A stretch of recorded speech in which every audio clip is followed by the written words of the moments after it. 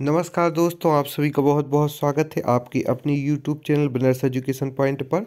सर्वप्रथम आप हमारे चैनल को सब्सक्राइब करें, वीडियो को लाइक एवं शेयर करें एवं डिस्क्रिप्शन बॉक्स में जाकर इंस्टा मौजू के लिंक के माध्यम से आप हमारे मुख्य परीक्षा एवं प्रारंभिक परीक्षा के हस्तलेखित नोट्स भी परचेज कर सकते हैं।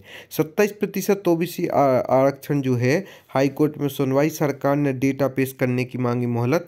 सत्ताईस प्रतिशत ओ रिजर्वेशन पर हाईकोर्ट की नई बेंच ने सुनवाई की है, प्रारंभ कर दी है सुनवाई के दौरान। दौरान सरकार की ओर से आरक्षण संबंधी आंकड़े पेश करने की मोहलत मांगी गई है। सरकार पिछड़ा वर्ग आरक्षण को लेकर डाटा पेश करना चाहती है। हाई कोर्ट ने सरकार को मोहलत देते हुए अगली सुनवाई की डेट सत्ताईस अप्रैल दी है। अब इसकी जो डेट पहले चार अप्रैल सुनने में आ रही थी, अब उसकी डेट सत्ताईस अप्रैल कर दी गई है।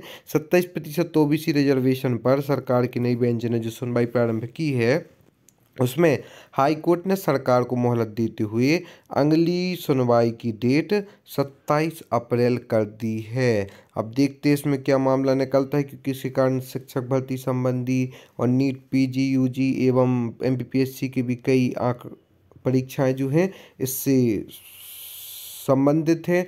और इसमें रिज़ल्ट आज तो घोषित कर दिए गए हैं, लेकिन अब आगे क्या होता है, किस प्रकार से इसका निर्णय आता है, सभी जानकारियाँ तभी होंगी जब सरकार डिसाइड या कोर्ट डिसाइड कर देता है कि ओबीसी आरक्षण चौदह प्रतिशत मिलेगा कि सत्ताईस प्रतिशत। इसी के कारण 2019 के रिज़ल्ट में भी इतनी देरी हुई 2020 का परिणाम भी देर से आया और 2021 में भी विवाद ना हो, इसलिए इस के आधार पर जल्दी से जल्दी इसका निर्णय आए, वही सबके लिए उचित रहेगा। एम की जो सभी परीक्षाएँ हैं इसी पर डिपेंडेंट है कि ओबीसी आरक्षण सत्ताईस प्रतिशत मिलता है कि चौदह प्रतिशत।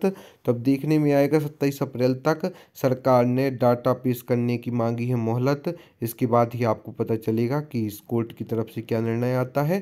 साथ ही साथ आप हमें फेसबुक, यूट्यूब, इंस्टाग्राम, टेलीग्राम आदि के माध्यम से ज्वाइन कर सकती हैं और डिस्क्रिप्शन बॉक्स जाकर इंस्टा मौजू के लिंक के माध्यम से आप हमारे हस्तलेखित नोट्स परचेस कर सकते हैं।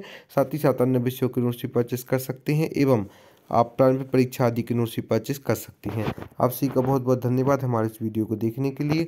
हम आशा करते हैं आगे हमारे साथ में जुड़े रहेंगे और निरंतर अपनी परीक्षाओं की तैयारी करते रहें। एक न एक दिन ज़रूर आपको निश्चित रूप से सफलता मिलेगी। यदि हम अपने पुरुषार्थ में शक्ति है तो निश्चित रूप से कार्य की सिद्धि होगी।